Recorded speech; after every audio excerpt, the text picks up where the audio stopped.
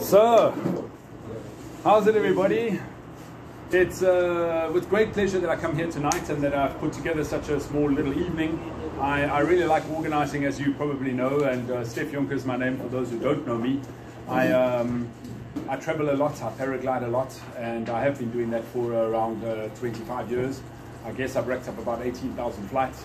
Um, I'm firm friends with Carol here, and before I go any further, I want to say a, a massive thank you to those who, who, came to the party to help. First, Luke, who's here to operate the computer for me. Uh, Albert, thank you very much for bringing the projector and the laptop. And of course, my dear friends Olga and Paul for uh, coming here uh, and uh, hosting me and uh, helping out and cooking. They did the cooking today. I just told them, okay, let's make this. And uh, yeah, thanks all of you guys for coming here and supporting, of course. And let's have a fun evening. So I thought a really nice thing to talk about is to paraglide and to travel.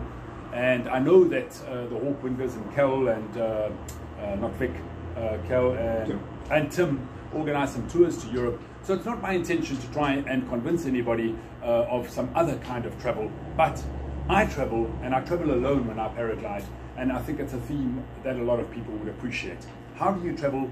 Where do you travel? And what do you take with you? So, and, and, and what you combine with you when you go and paraglide? So those were a bit the, uh, the thinking that I thought I'd, I'd, put together for the talk. Here, uh, a very typical uh, um, alpine flying place. In fact, it's a place I know very well. This is Sillian in Osttirol, in the East Tyrol uh, province. Um, as you guys can see, lots and lots of fields that would take for, for takeoff sites and lots of landing in the valleys. So, go for it, Luke. Let's go to the next pic. Um, here, of course, you get the bigger mountains. So you can also have some really, really big mountains to fly.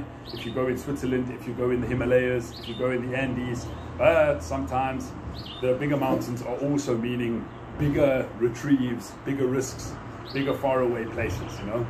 Um, the, uh, the easier places to fly are, of course, where the, let's open up, uh, let's open up the gate, please. I have the remote in my pocket.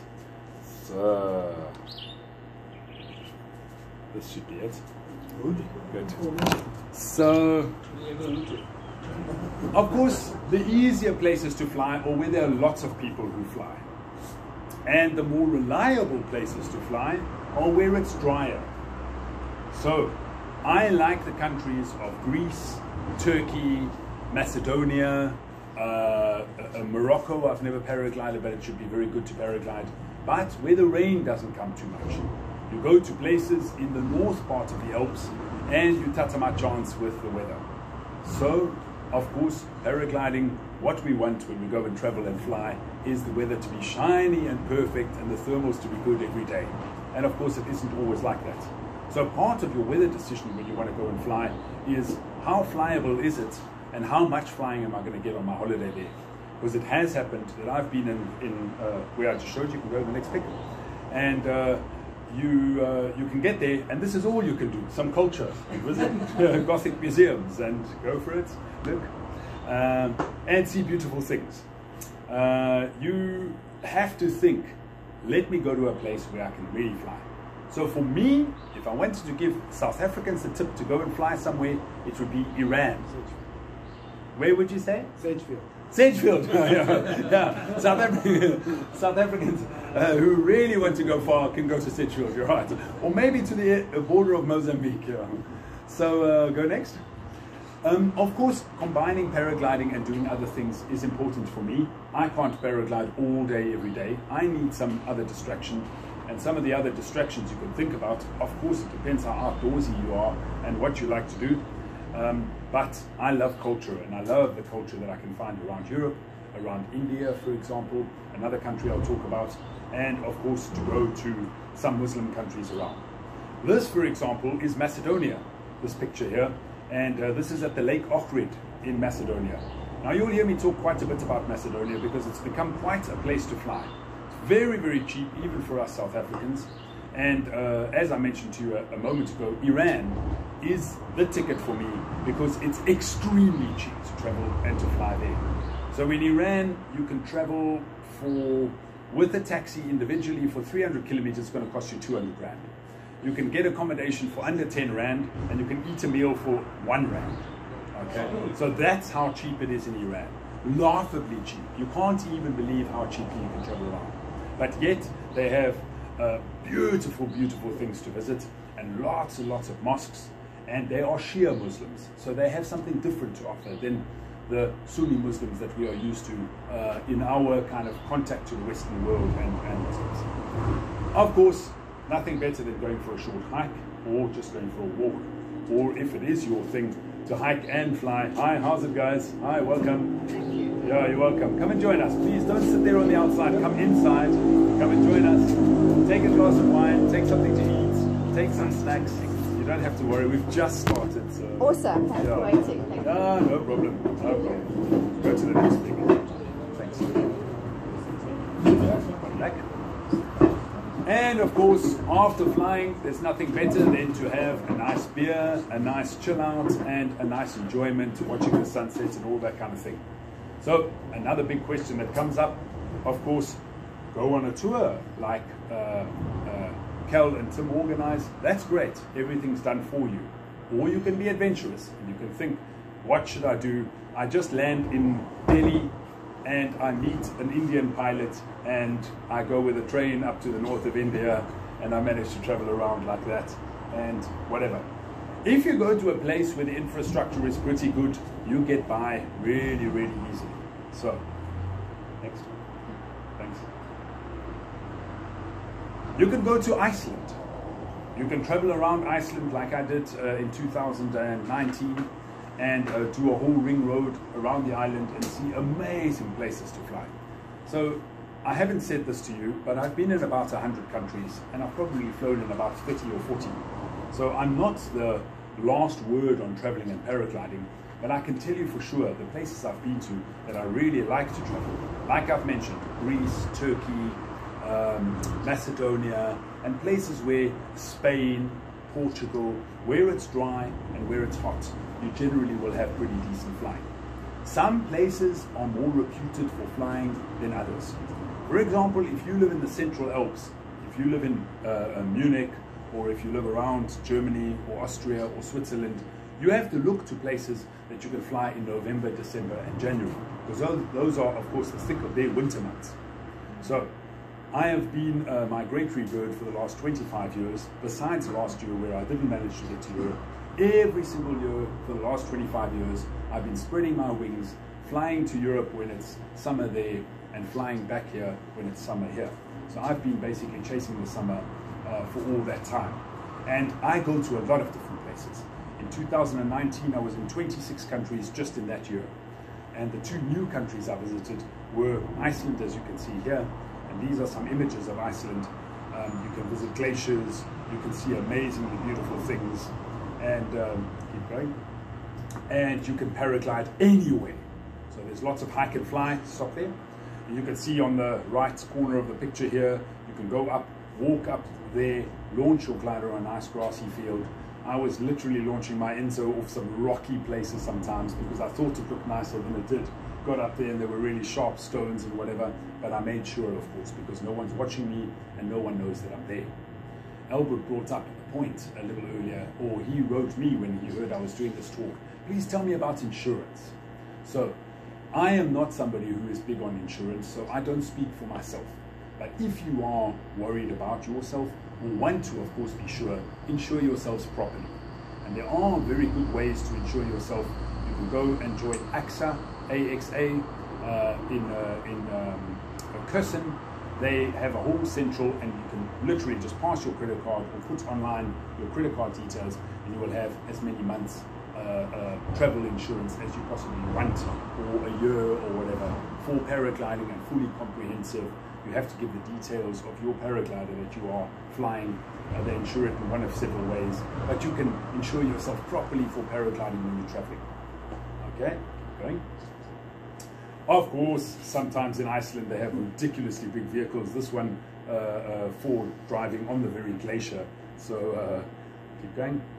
And uh, lots of beautiful things. This picture was taken after midnight, since it's nearly 24 hours of sun in places like that. As you can see, in places like Iceland, where I was on my way to break their record, uh, which was 72 kilometers. I was at cloud base 1800 meters above the ground at 69 kilometers.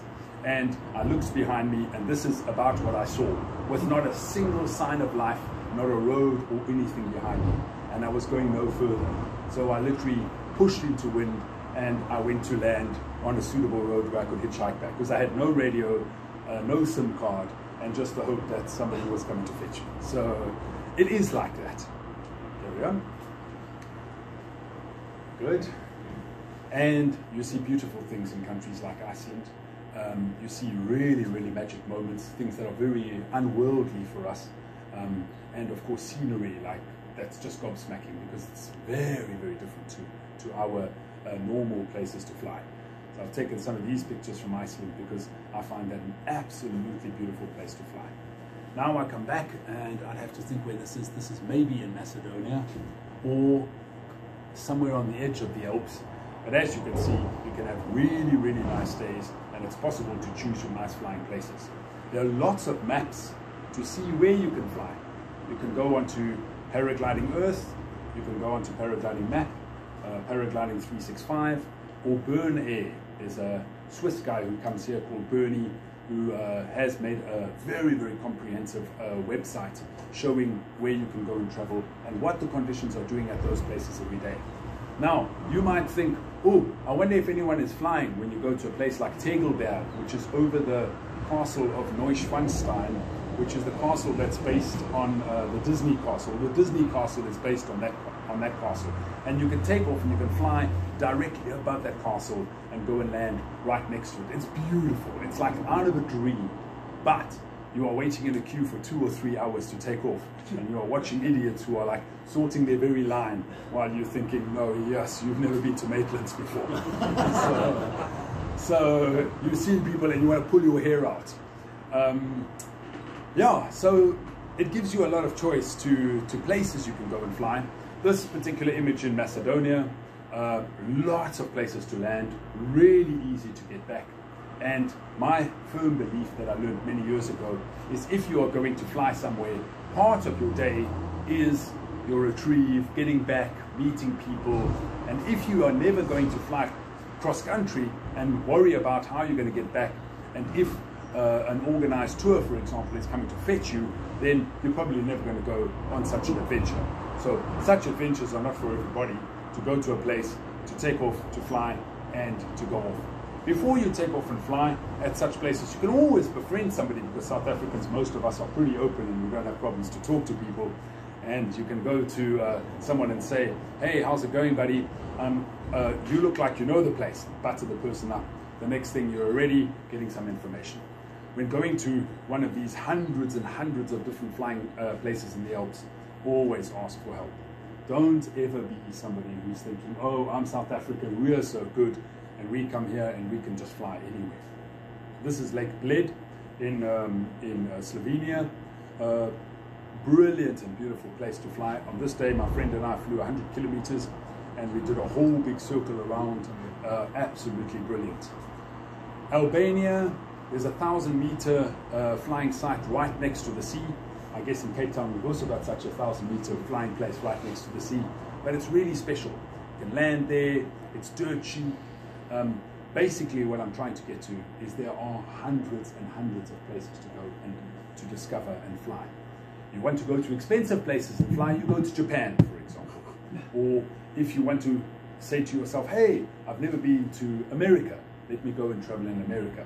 It's quite a nice place to be able to rent a car, get a few phone numbers, and go and visit national parks and nature and uh, go all over the place and fly. This particular picture is taken in, in uh, Greece, and as you can see, about 800 meters above the sea, just coming into uh, land at the beach close to Mount Olympus. Lots of places, lots of easy way to get around. But you have to have the adventurous spirit inside you to be able to say, okay, I take my paraglider and I go. So it brings me to the next point. Where and uh, what do you take with you when you go on such a holiday? My answer is always the absolute minimum. So, stop there. This is the car that I bought for 25,000 Rand about four years ago in Munich. and it's in perfect good running order, but I think I've just sold it for about 5,000 rand. Nothing wrong with the car, with a cracked uh, windscreen and maybe the brakes needed to be changed. But that would have cost 600 euros or 10,000 rand in, in uh, Europe, and everything's expensive, and you may as well just chuck it away or sell it for 300 euros and buy another car next year for this kind of money. If you have a friend in Europe and you are keen on doing a more adventurous, bigger trip, this is what I recommend you do. If you have a look, you can see that the car is fitted with a, just above the yellow boxes is uh, uh, uh, the beginning of the bed. It looks like a hell of a mess because it was just fully loaded there. But the two yellow boxes come out with two yellow boxes behind them and really quite sizable big boxes. That's my kitchen, four boxes like that with a gas stove and a little pull out underneath the mattress that I've got a little table, a camping chair, um, an e-bike on the back of the car and uh, an air mattress underneath there. So you've basically got a bed, two seats in the front, your music, and you can go and travel. And I travel like this. Next. And I never pay for camping. I stop. Do you see that little village there in the distance on the left hand side? And there's some trees, and there's the graveyard and the parking lot, and I stop there at night and I camp. And no one bothers you. I once stopped in uh, Bergen, the second biggest city of, of uh, Norway. And Norway is an extremely expensive country. So I bought about I don't know, I, I overdid I bought about 8,000 rands worth of alcohol and 8,000 rands worth of food. I smuggled the alcohol, I didn't realize they were really strict about it, I had hidden it all properly. But I got across to Norway, and when people heard how much alcohol I'd actually smuggled with me, they were flabbergasted. But just a cup of vodka for a present for somebody is, they're overjoyed because alcohol is so expensive there. So you bring everything with you to a country like Norway, you road trip around like that with a car, and you will never ever regret to do such a trip. So I spent two and a half months in uh, Norway in 2016, just road tripping around, asking people and using Google Maps to get around from one place to another, um, often just hiking, flying. So walking up wherever looked suitable and flying. And sometimes gorgeous flights over glaciers, probably taking off at places that no one had ever paraglided before, because they've only got a couple of hundred pilots to fly there. So use your imagination. Sometimes you go to flying places like this was a pretty spooky flight for me. This is uh, near Bassano in Italy, but uh, Monte Avena, and it was really strange in the air and very weird and not very nice. So sometimes you'll think, oh, I'm going to do my own thing. Um, I'm the kind of person who, with my 25,000 Rand car, um, not worried that anyone drives the car down the mountain. So when I get up the mountain and I see two people who are just about to drive down in their car, I stop them and I act like, oh, listen, my friend didn't show up and little white lie. Would it be terrible if you drove my car just down to the bottom of the mountain and you sorted and hide the key behind the wheel? And in Europe, nothing gets stolen. The boogeyman's not coming to you in the middle of the night uh, to chop your head off and you can rest assured that you're going to sleep okay and be able to travel okay. So, as you can see, lots of places to fly. Uh, this is in Switzerland. The last one was also in Austria.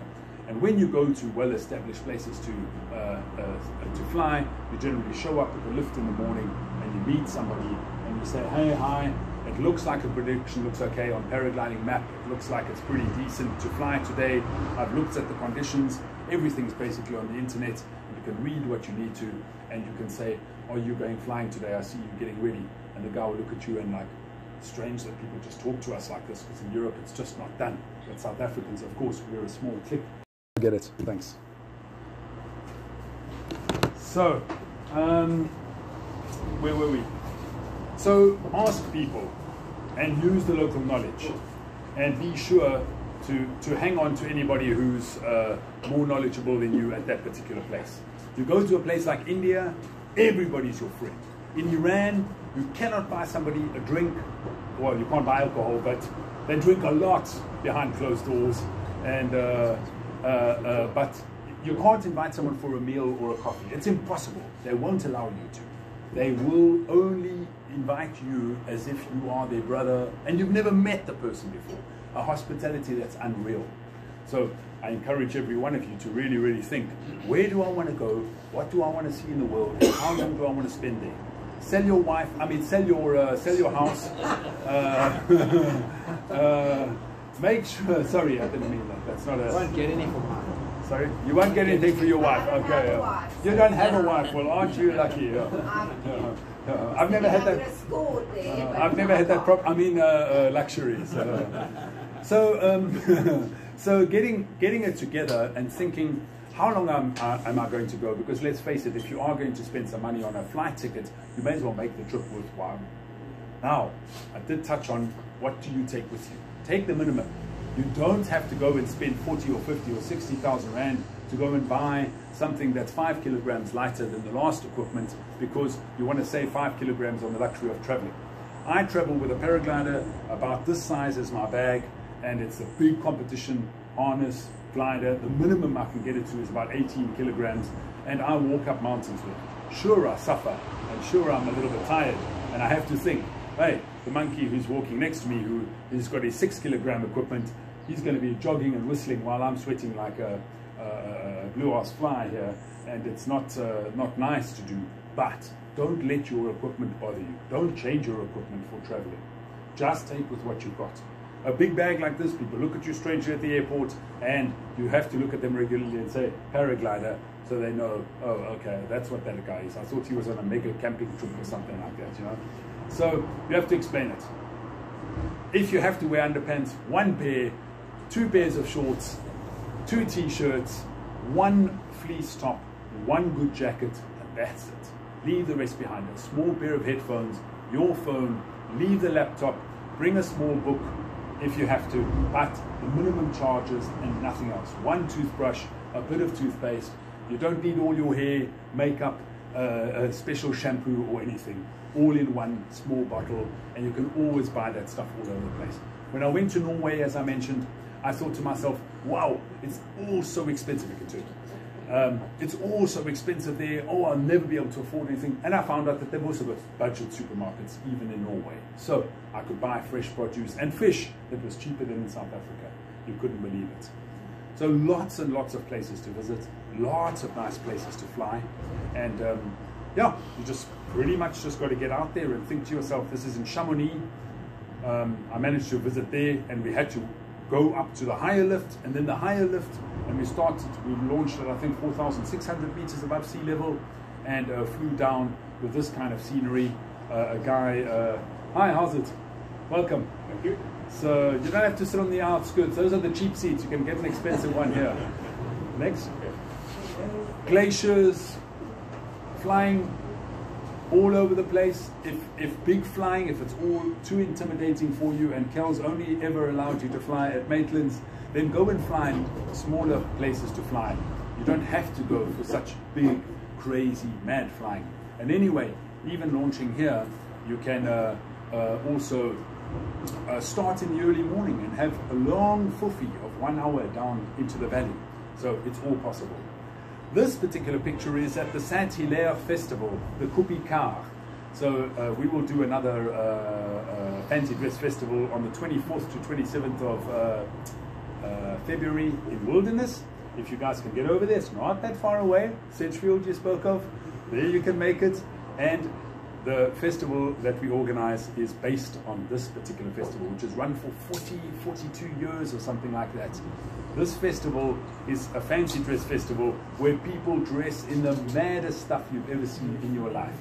It's also the biggest get together uh, and expo of paragliding. So every glider manufacturer, every motor manufacturer, every harness manufacturer has to be there. If they're not there, then everyone talks and says, oof, they're not here. So you can obviously see the tent city that forms there. Everything's free.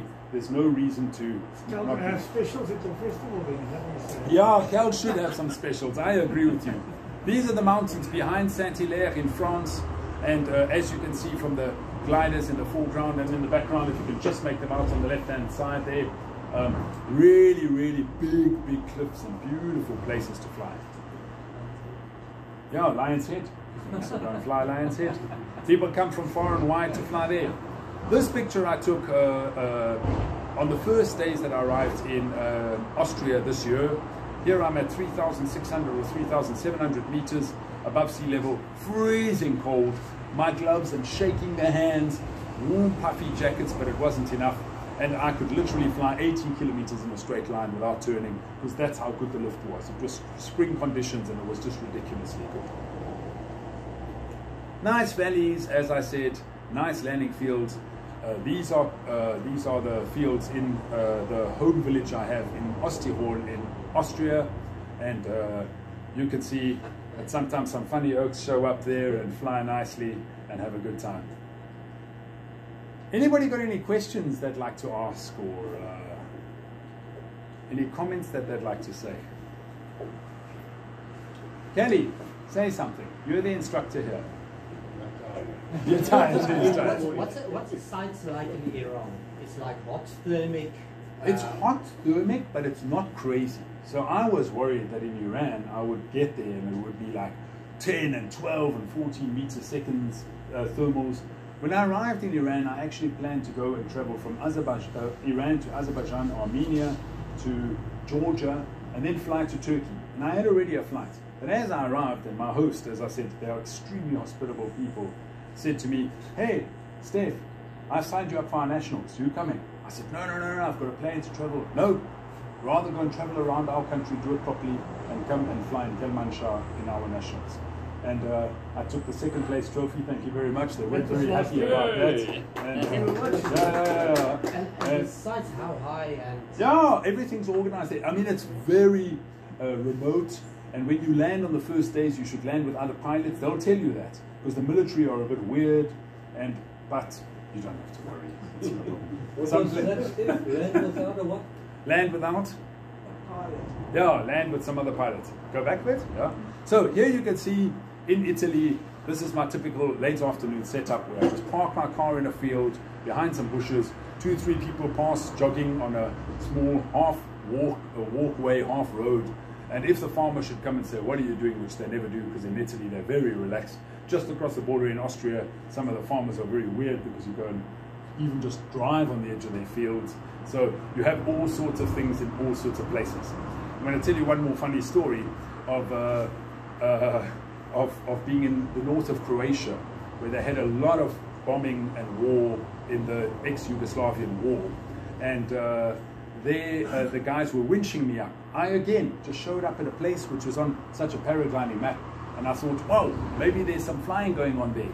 And I showed up at an airfield, and surely there were some guys standing around with some beers. They had finished for the day, but tomorrow morning uh, they were going to fly again.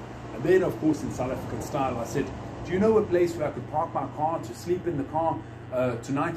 No, you don't sleep in the car. You sleep at his place. He's got a lot of space. So I palmed them off.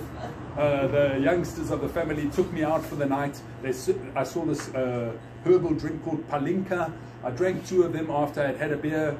Uh, I promptly fell over because the stuff's so strong and you shouldn't have beer with it or mix anything with it. Uh, I learned my lesson. And the next morning, there we were winching. And just before going to launch and winch, the guy says to me, Are you planning to fly cross country? I said, Yeah, for sure. I'd like to fly cross country if it's possible. And uh, he says, Yeah, that's great. You're going to fly over the town and then go down that main road. And just be really careful where you land. And I said to him, What do you mean, where you land? I land on a field next to the road. No, no, no. Choose your field. If the fields are well uh, uh, cultivated and they're currently being cultivated, and you can see that, then cool, land on them. But if they look like they're scrubby uh, and not being used fields, do not land there. I said, why not? Landmines.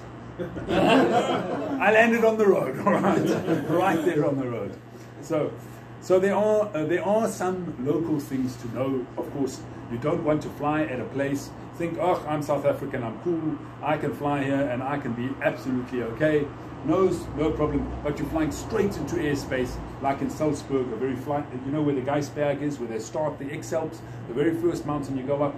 If you should turn to the left and fly just two kilometers, you're flying into CTR of the airport of Salzburg, which is a very busy airport, and you need to know these things.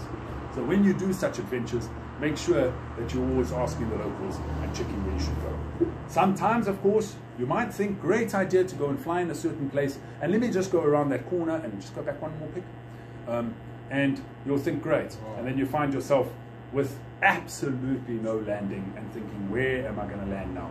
And then you see another pilot, you think he's cleverer than you, and he thinks, wow, I'm glad I see another pilot.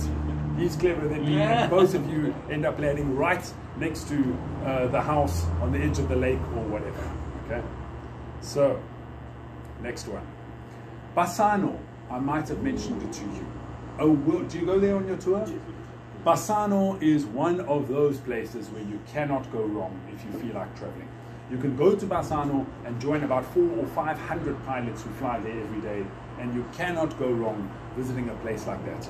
It's in the north of Italy, right near Venice. You can couple your trip with Venice and a few other really nice places. Or like this, Cal will also recognize that this is Stol. This is the continuation from Tolmin towards uh, Gemona in Italy, and that's a really, really nice place to fly to. Next. That's from Gemona. This is, of course, competition flying. We all know what this, well, we, we know these pictures from the front of magazines and things. Some of us are sometimes in the thick of this stuff, and you can have a little look at that. I know a lot of places that I've never been to before, like Valle de Bravo in, It's- uh, in uh, Mexico, or uh, uh, La Paz, the capital of Bolivia. It's at 3,800 meters, the highest capital in the world. At the World Championships in Argentina recently, I, I met two brothers who have a paragliding school and a, and a tandem outfit there, and they said, "Oh, you don't know our place? We fly 350 days a year." I said, "You fly 350 days a year? What the hell?" So there are places that are very, very regular to fly. Please, I ask you a favor? Of course. I don't think many guys here know it, but you were the sole representative at the At World Champs in Tucumán this year. Yeah, that's it. Yeah. Yeah. Uh, just, just give us a two minute synopsis of Yeah. how you got there yeah. from Europe and, and what the Compass all about. So, so in uh, I went to uh, Argentina because there were two competitions there. One's the paragliding World Cup competition, so the PWC competition that was in La Rioja, and it was very hot and very dry with strong whirlies and strong thermals. But they set tasks just any which way, and there was no landing, like absolutely none. You know, the next bit. Um, so that was quite daunting and quite crazy. Um, that yeah, that was quite nice. And then uh, and then I went to uh, Tucumán, which is the World Championships. And the World Championships, for those who don't know, is a Cat 1 competition. That's the highest uh, class of competition you can get. And of course, that's where each person represents their country in the country team. Now, I was the only South African there, and I decided to delay my trip in Europe. I was already in Europe to go to Argentina. I stayed around and farted around Europe and sailing and doing all sorts of flying in the Dolomites, that last picture you just saw, and killing a bit of time uh, before I uh, decided to cruise across to, to Argentina. So there's always something to do. But if a South African wants to fly to Argentina from Cape Town, you're going to fly for a minimum of 45 hours. And the cheaper flights are 70 hours of travel to get there. Don't do it. Don't do it. Take an 8,000 Rand flight with Qatar Airlines, fly in a city close to the Alps if you want to go to the Alps and travel in, in, in Europe. But as I said, if you can, you fly to Dubai, you fly to uh, Tehran, and you go and travel around Iran. That's my uh, recommendation for your money goes very, very far to travel today. So the Alps are very nice, but if you don't have a car of your own and you want to rent a car, it's not renting a car like some some uh, German friends of mine who have just gotten a car for 11 euros a day uh, here in South Africa. They you spend 30 euros a day every day renting a car, plus you're going to spend uh, between 30 and 40 euros per person for overnighting in a small guest house in Europe. It's quite expensive.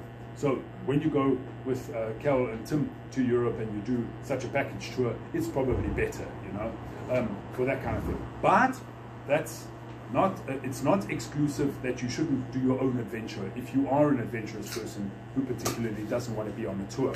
So uh, my personal, fe- I, I can't be on a tour. That's, I make everybody mad on the tour bus and, uh, and it's just too restrictive and too time constrained for me. So I do, don't do that kind of thing. I'd rather be adventurous, and I'm also extremely gregarious, so I don't have any problem to meet people and get to know them and all that kind of thing. Go to the next pic.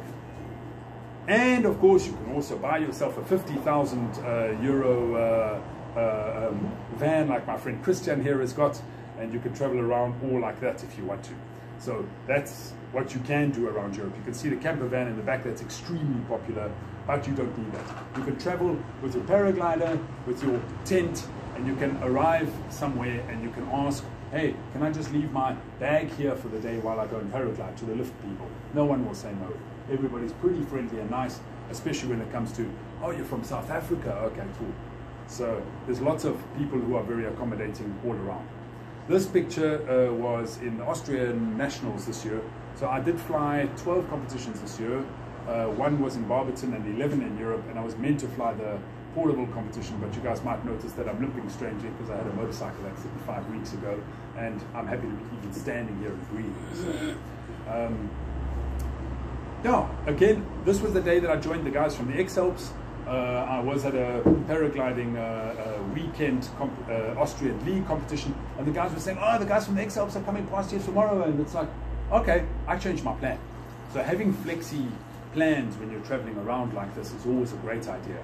We went up to uh, Kitzbühel and waited, and Paul Guschlbauer and Markus Anders landed right there, top landed, which they had to, and uh, ticked off the thingy. And we waited. We weren't in their way. We took off and we flew, and we had a wonderful time flying around and enjoying ourselves with them, and even helping them. Now it's not allowed to help them, but if you are just in the air, you are just in the air. So uh, help them to cross a valley.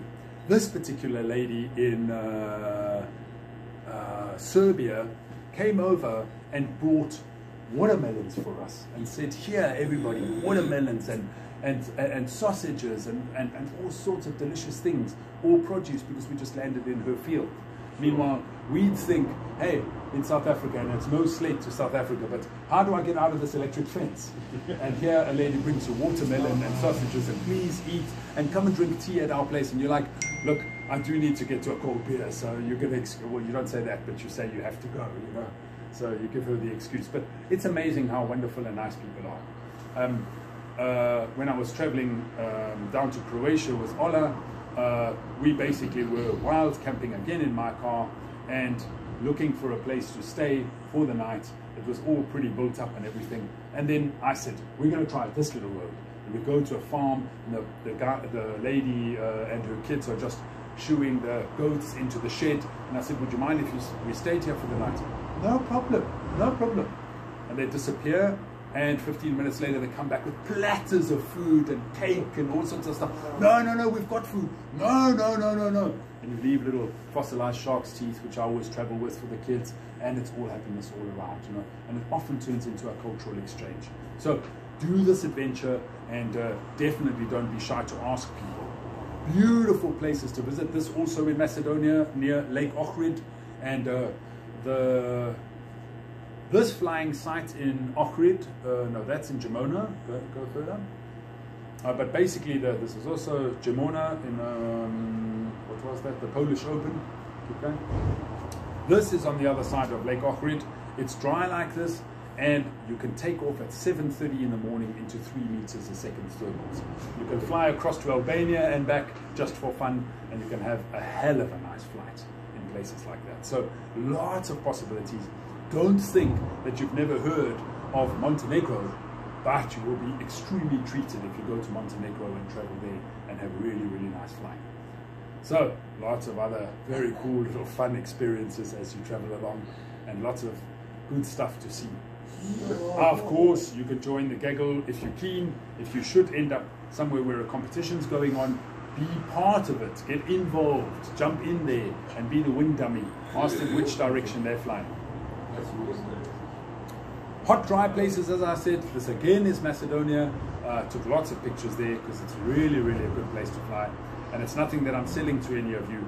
Um, in case you are wondering why does this guy do this talk here, it's just simply my pleasure to share with you guys something that I really, really love, is to be adventurous, travel and go all around checking mad places to check out. Here's our gold field in Macedonia, really, really nice place, uh, right next to a lake and just four kilometers from the Greek border. So you have to make sure that you uh, don't uh, go a little bit too far because crossing over borders um, and landing there is often quite badly seen. Um, in fact, I say it, but this is the place that at 7.30 in the morning on the other side of Lake Ohrid and Albania is underneath that cloud there in the distance. Uh, one pilot has actually crossed over from the country of Georgia, I think, to where it was Iraq or something like this, but next next to Georgia, and uh, the military just went crazy. You know, who is that guy? He's coming to prison, this and that, just for paragliding across an international border. What's it to anybody? To you and me, we smile, we laugh, and we think they're crazy, but some people don't see the humor in this kind of thing.